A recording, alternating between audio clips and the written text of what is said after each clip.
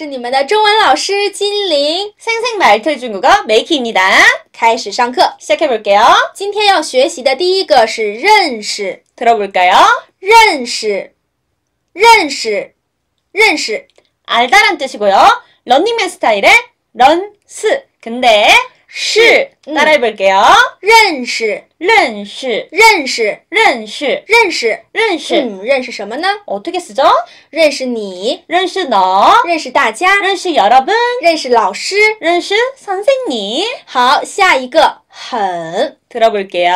很，很，很， 매우란 뜻이고요. 헌병의 헌 따라해볼게요. 很， 헌, 很， 헌, 很。 헌. 嗯，怎么用呢？ 어떻게 쓰죠? 很漂亮， 헌 예쁘다. 很可爱， 헌 귀엽다. 很高兴。 헌 기쁘다. 好，下一个，好久不见，想你了。 오래간만입니다. 보고 싶었습니다. 들어볼게요. 好久不见，好久不见，好久不见，想你了，想你了，想你了。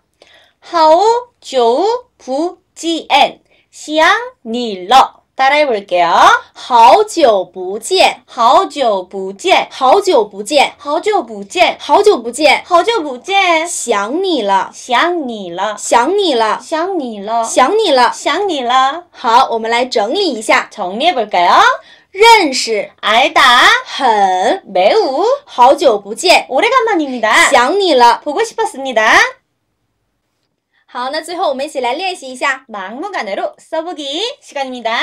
认识你，认识大家认识老师，很漂亮，很可爱，很高兴，好久不见，想你了，再见。